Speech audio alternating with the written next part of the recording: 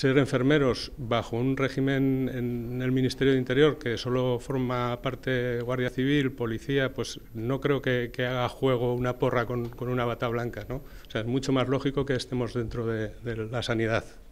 Esta ha sido una de las reivindicaciones que los más de 200 profesionales sanitarios, reunidos en el undécimo Congreso de la Sociedad Española de Sanidad Penitenciaria, han analizado. Las transferencias son la única manera de que la sociedad y que la, sociedad de sanidad penitenciaria y que la sanidad penitenciaria en sí tenga futuro. Un futuro que en el ámbito de la sanidad penitenciaria, además, cuenta con otro factor de cambio, como es hacer frente a la aparición de patologías vinculadas con el incremento de la edad de los usuarios de las prisiones. Dos pilares fundamentales que han sido analizados en la reunión bienal. En las cuatro mesas de debate programadas se han abordado temas de salud penitenciaria como la evolución de las patologías de los reclusos o los problemas de salud mental.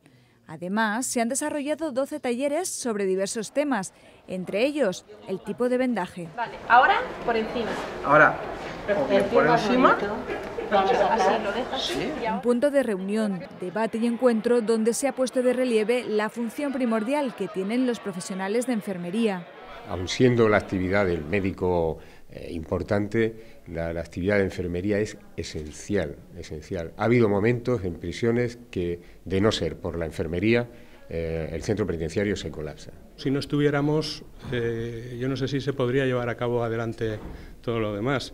Una cosa es la asistencia médica y otra es la cantidad de cosas que acaparamos, desde programas de de toxicomanías, de repartos de metadona, o sea, hacemos trabajos como puedan ser los de, una UCA. Una labor trascendente desde el punto de vista de la salud pública y para la que todos los profesionales sanitarios de centros penitenciarios, sin excepción, reclaman la transferencia de la sanidad penitenciaria a las comunidades autónomas.